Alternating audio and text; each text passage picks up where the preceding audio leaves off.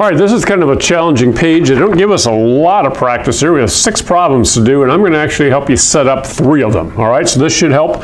We're on page 33. Uh, this is going one step further with division or simplifying than what we've done so far. And um, in the previous lesson, we always took whatever the variable was on the top and subtracted the one on the bottom. But on that page, which was page I think 31, all the variables on the top had a bigger exponent than the one on the bottom, okay? Here, we're going to have some times where the variable on the bottom is larger than the one on the top. Okay, so it's a little different. We want to follow the rule here on page 32 of what to do. So first of all, let's do the easy part. Just take the new numerical coefficients out front and simplify that. So what is 28 over 4?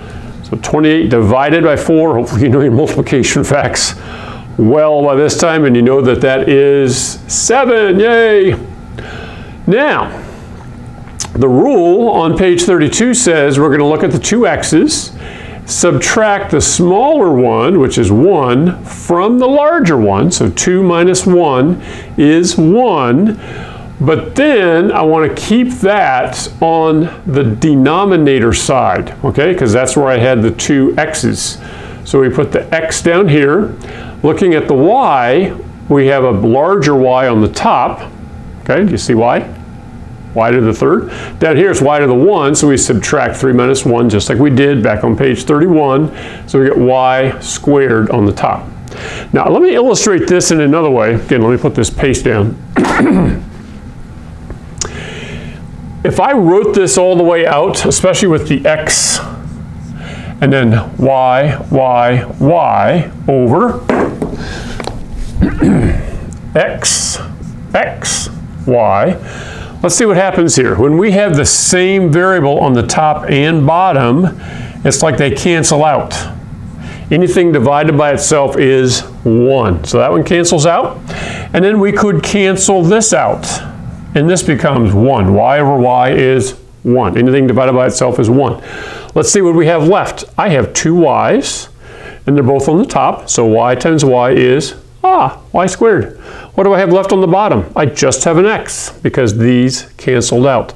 So I have an x on the bottom, okay? Let's think about the rule here. 96 divided by 48. That one's a fact you might not have memorized, but uh, maybe you can see that this is half of this, okay? So we're going to end up with a numerator up here of 2. Let's draw the magic line here to separate the numerator from the denominator. Let's think about x. So we have 1x on the top, 2 on the bottom. All right, so we're going to subtract the smaller from the larger. So 2 minus 1 is 1, and that one's going to be on the bottom. Okay?